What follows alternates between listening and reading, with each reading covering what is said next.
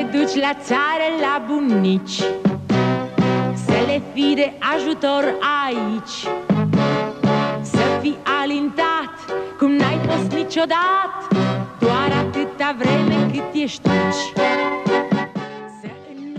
cei mai mulți dintre elevi au lăsat cărțile și caietele pe locul 2. Ceva normal, că doar au intrat în vacanța de vară. Până la toamnă, când se vor întoarce din nou în băncile școlilor, copiii nu au alte gânduri decât să se distreze. Doamna și colegii tăi or să-ți lipsească? Da.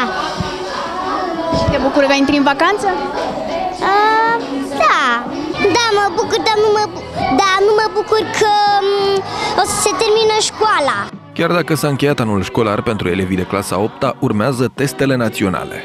Sperăm să fie toți sănătoși și să dea cele două probe de pe 22 și 24 iunie.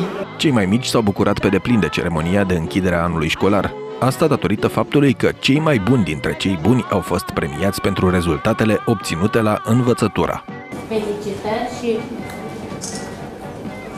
harnic, harnic și la da? Ca în fiecare an, la încheierea unui an școlar, pregătim pentru copii diplomele care le oferim uh, uh, drept răsplată pentru munca pe care au depus-o pe parcursul anului școlar. Premianți sau nu, cu toții își doresc să uite de orele de curs și mai ales de testări. Se acordă diploma elevului Venis Florin, diploma de excelență din clasa a 3-a B.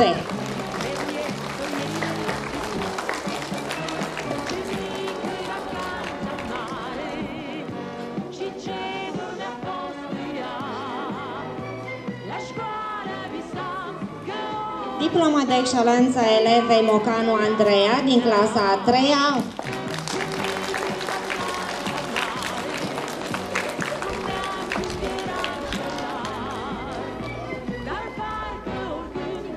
Suntem foarte mândri de rezultatele obținute. Am făcut anunțul uh, odată cu această ceremonie uh, și despre premiul obținut la Olimpiada Internațională de Limbă Turcă, de faptul că ne considerăm misiunea îndeplinită și uh, sperăm ca această școală să rămână mereu acolo unde este, în elita școlii românești. Vacanța de vară se va încheia în luna septembrie, iar elevii se vor întoarce cu forțe proaspete în bănci pentru un nou an școlar.